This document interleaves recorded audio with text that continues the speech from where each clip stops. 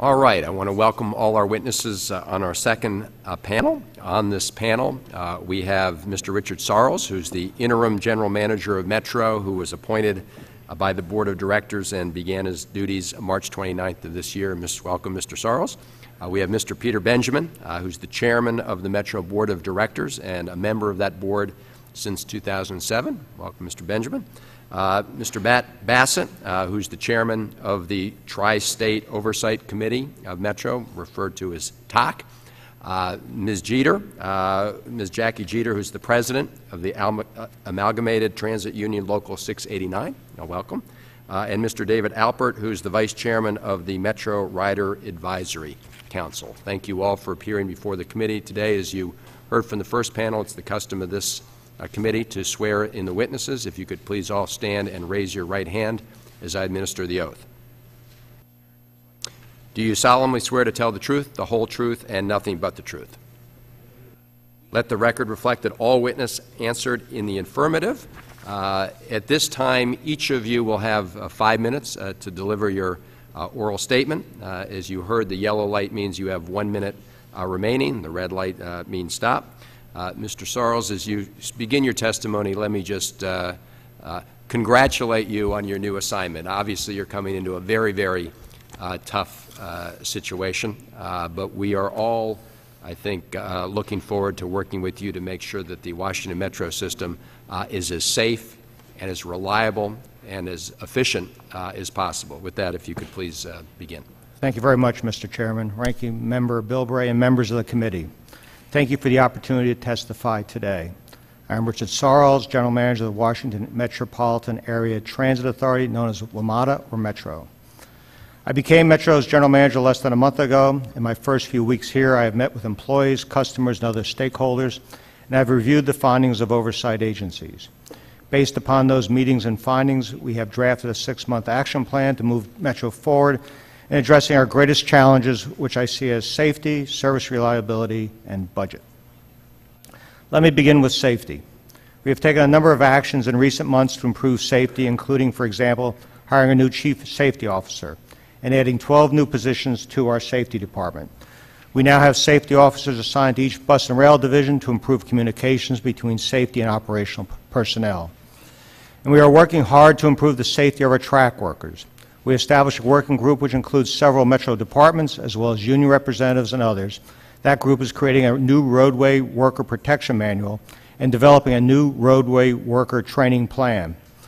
While we have made progress with regard to safety, we still have work to do. We have established the following six safety-related priorities for the next six months. One is to fill the remaining safety department vacancies and increase training. Two, continue the accelerated closeout of open safety-related audit findings. Let me say here that I am particularly focused on responding to the recommendations in the FTA audit. Our action plan is attached to my written testimony. Three, develop an incident tracking and safety management reporting system. Four, encourage near-miss reporting, including publicizing our anonymous employee safety hotline and strengthening whi- whistleblower protection. Five, complete a new right-of-way worker protection manual and revisions to the Metro Rail Safety Rules and Procedures Handbook. Six, complete a self-assessment of safety-related internal controls and initiate a thorough assessment of safety culture. Turning to the reliability of our service, I think it is fair to say that the quality of our customers' experience is the key to the continued success of our system.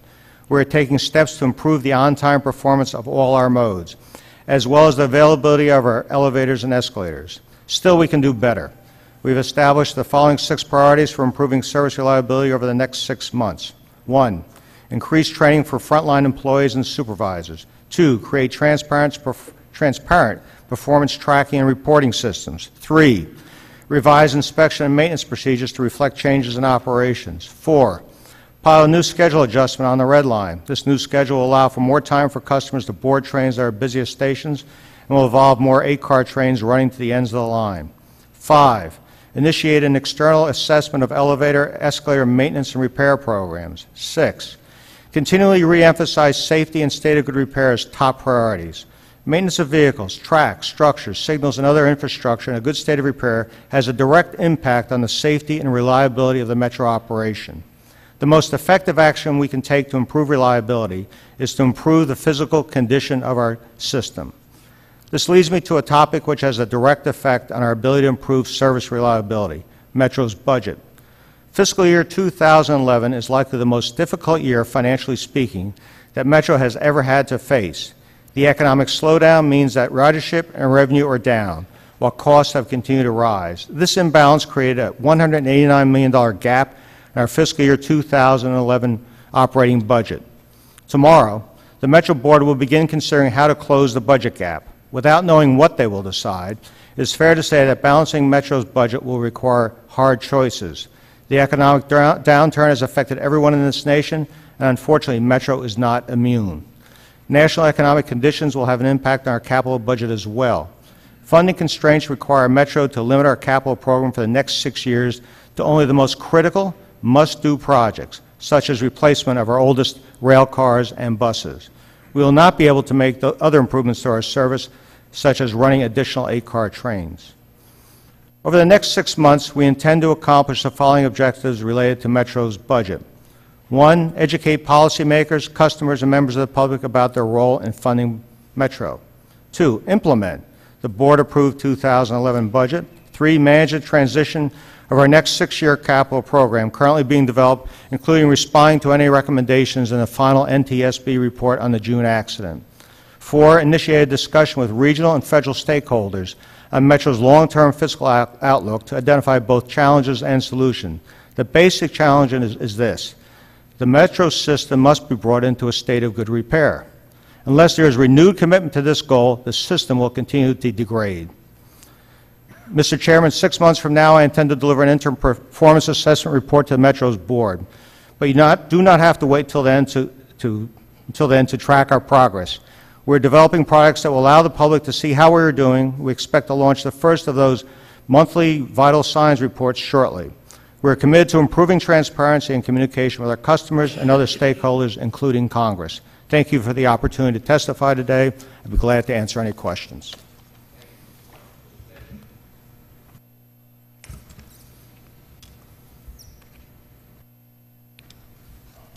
Mr. Chairman, Ranking Member Bilbray, and members of the committee, I've worked for the Washington Metropolitan Area Transit Authority for 25 years, a system to which I am very dedicated.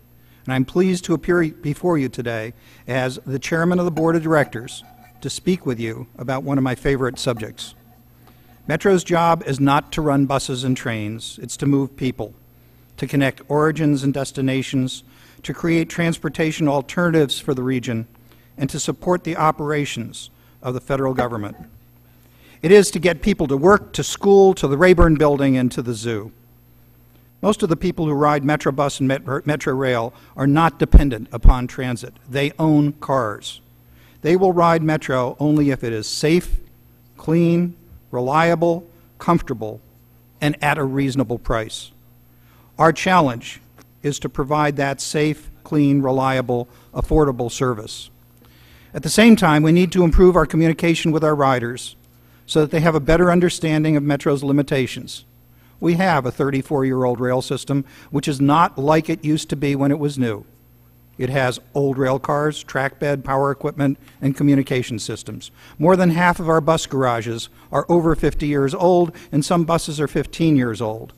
As the equipment and facilities age, they become less reliable, break down more often, and need more maintenance we will have more service disruptions and delays than when the system was new. Planned ones to rehabilitate the infrastructure and unplanned ones because of reduced equipment reliability.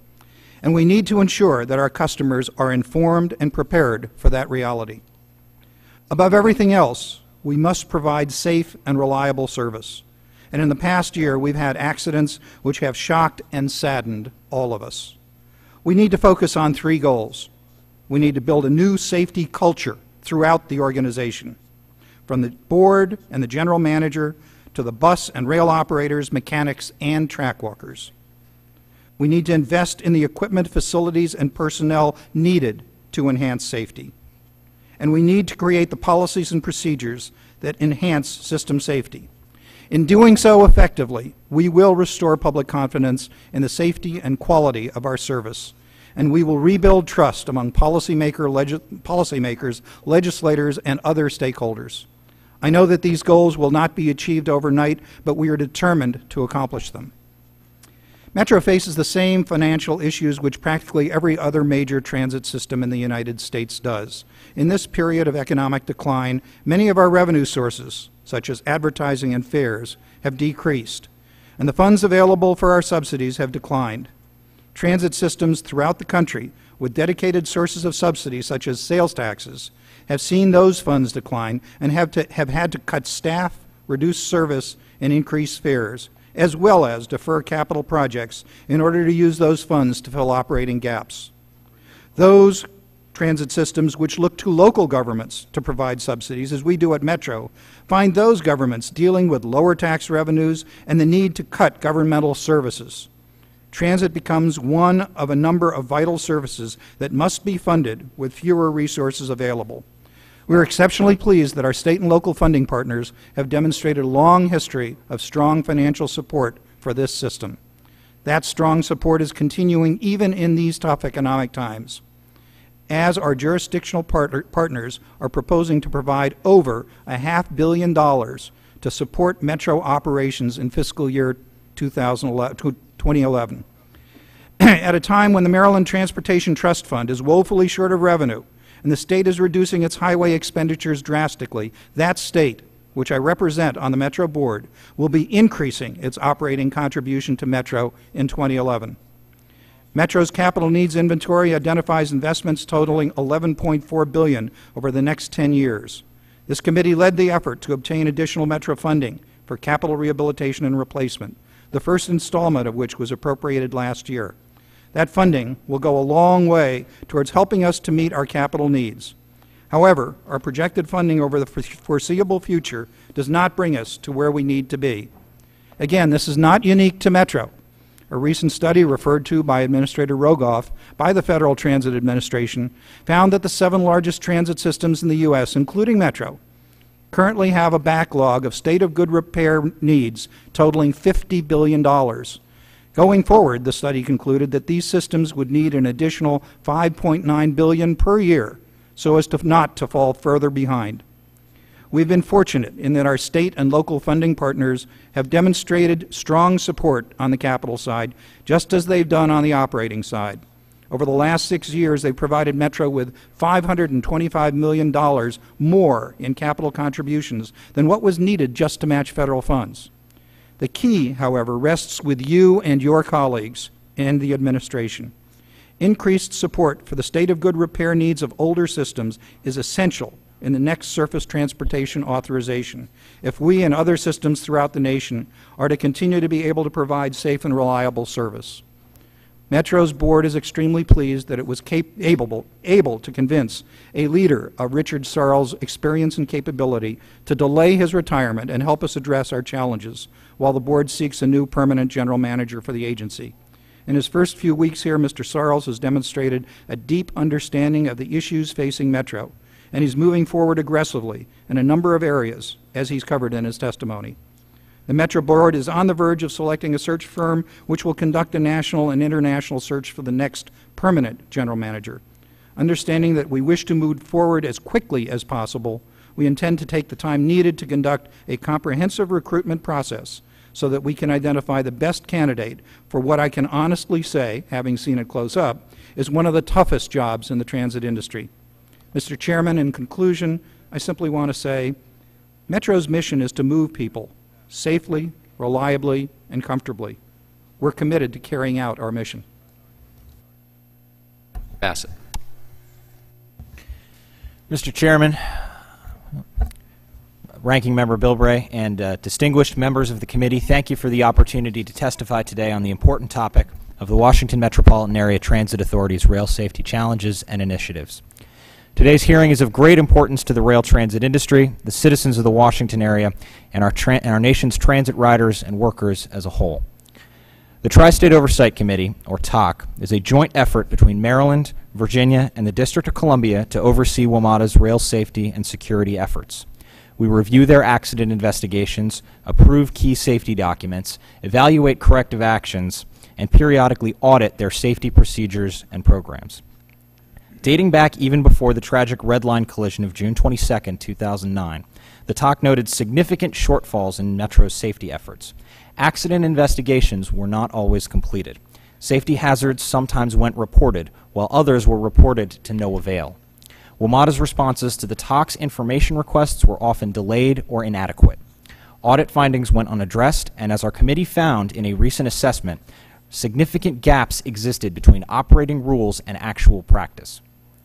The rail agency's significant funding challenges only compounded the inherent hazards of an aging rail system.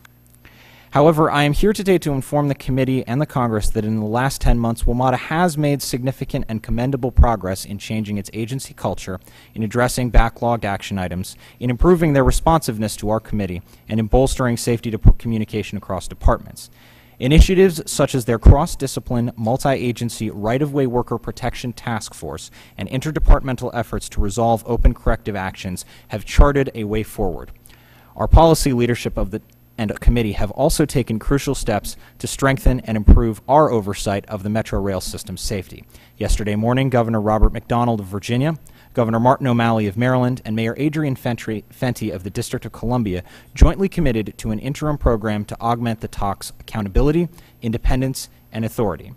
The met, these measures, by coordination with policymakers, these measures coordinate with policymakers, improve public access to our reports and information, provide the TOC chair with additional authority, and start to evaluate long-term plans for Metro safety oversight. Along with committee monthly meetings with the WMATA interim general manager and quarterly public interaction with the WMATA board, most recently on April 10th, the TOC is entering a new phase in our relationship with Metro as well as with the riding public. WMATA still faces major hurdles in improving the system's safety, especially those related to improving safety communication, addressing backlogged action items, and resolving open investigations.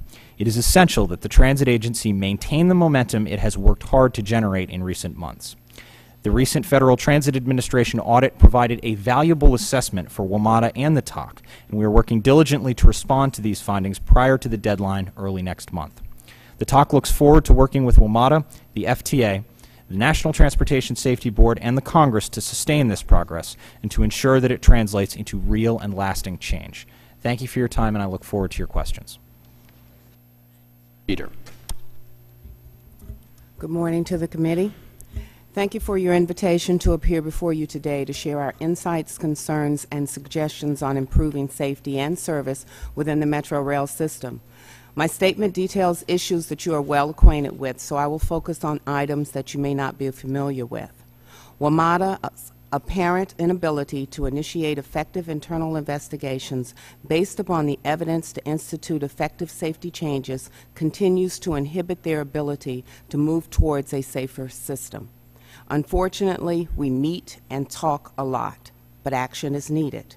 Failure to implement, implement needed procedural changes and the lack of oversight to do it quickly continues to compromise safety and service delivery. I would note that there is a tendency to blame individual employees looking instead of looking for underlying systemic causes of safety-related incidents. Local 689's experience concerning the investigations lead us to belief that WMATA has not implemented several key measures that would make the Metro Rail system safer. Urgency and rapidity will be the hallmark of suggested changes we are offering below. WMATA must consider instituting the following without delay. Multiple layers and redundancy of safety protections, codification of, of standards for track worker safety similar to the Federal Trans Railroad Administration track worker safety standards, clear and concise communication between workers and controllers, clear notification and designation of work areas and zones on the right-of-way, effective worker safety training and retraining, supervisory enforcement of safety standards, a contractual process for WMATA employees to appeal the standards they believe to be incorrect or unsafe, such as safety appeal, such as a safety appeals board. Meaningful whistleblower protection to ensure that employees are not fearful of reporting precise safety problems. Effective labor management safety committees. WMATA's commitment to rapid development and implementation of procedures and standards that are calculated to improve safety immediately and in the long term. Short and long-term solutions likely to address budget shortfalls currently confronting WMATA must be seen in the context of the impact insufficient funding has on workers, riders, businesses, and overall development in the three jur- jurisdictions hosting the system. Public transportation will never be profitable. It is an expensive public service. The critical nature of funding and the lack thereof has a major impact on the riding public and WMATA employees who are, who are our members. We have struggled with wage and benefit issues for the last three years and have been victimized by WMATA's failure to adequately plan for expected labor cost increases. Beyond the impact of wages and benefits is the impact of public of the public as safety as service cuts are becoming standard practice to help close the budget gaps. I will emphasize the need for flexibility in capital budget allocation in order to allow for capital funds to cover operating costs. The union has suggested the following alternative approaches to job and service cuts WMATA believes necessary because the budget shortfalls it is experiencing. Review carefully a formula, the formula grant that is used as a basis of federal funding to consider adjusting the percentage allocated to Metro. Look at reducing the number of parking spaces at Metro stations to induce greater use of the system.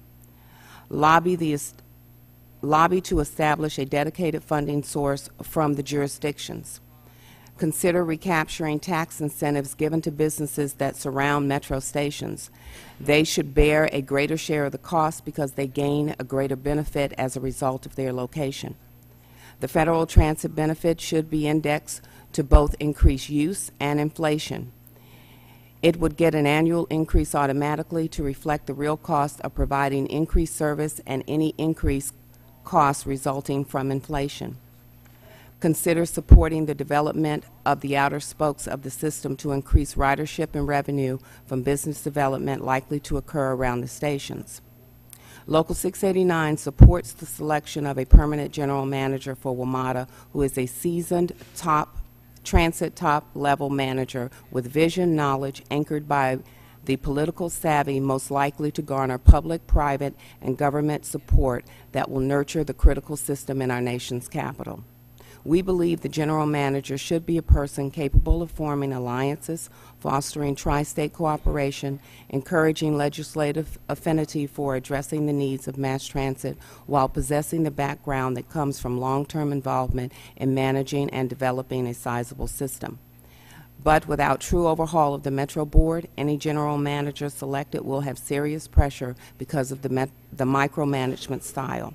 I would be pleased to address any questions you might have in regard to my testimony, and I thank you on behalf of my members and the riding public. Thank you, Ms. Jeter. Mr. Alpert.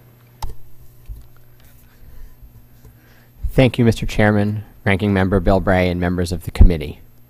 Thank you for inviting me to testify today. My name is David Alpert, and I am the District of Columbia Vice Chair of the WMATA Riders Advisory Council.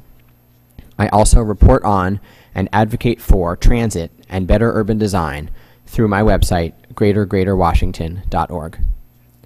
The Riders Advisory Council has 21 members appointed by the WMATA Board from the District of Columbia, Maryland, and Virginia.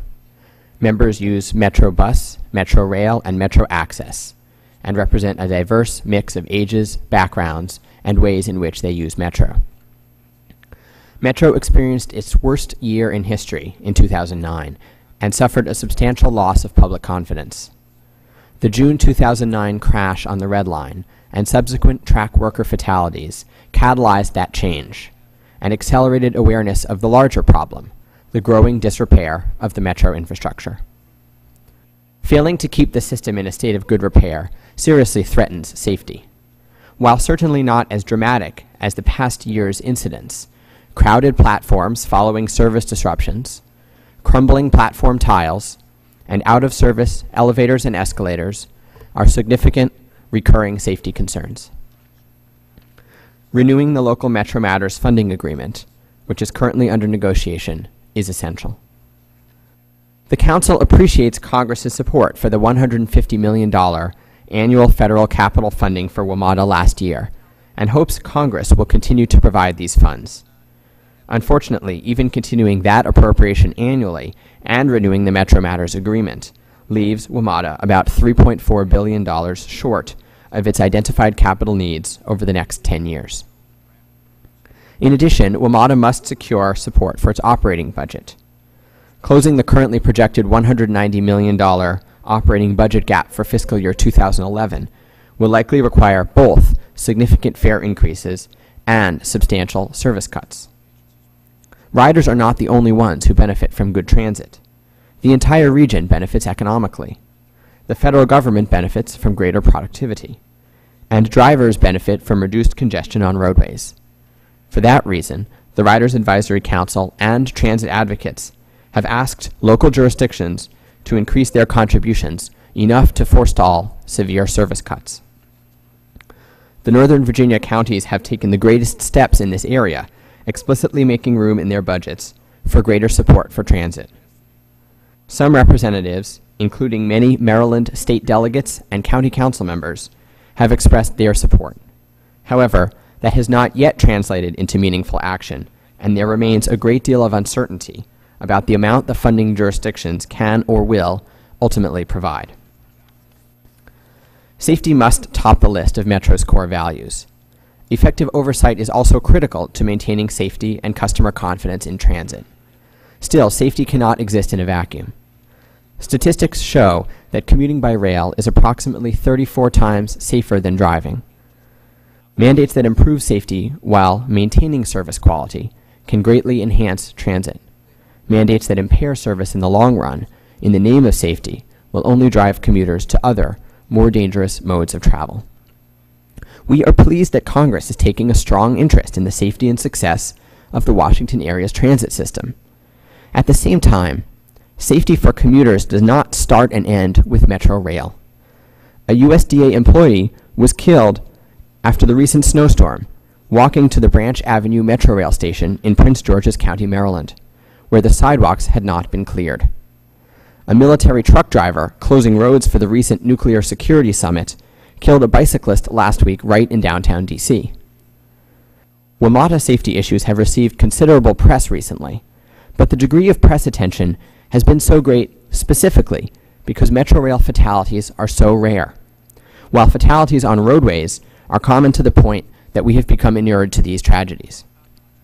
This Congress should not ignore these larger safety concerns and could draw needed attention to them by also conducting oversight into the ways in which our roadway designs, snow removal policies, and traffic law enforcement succeed or fail at maximizing the safety of commuters on all modes.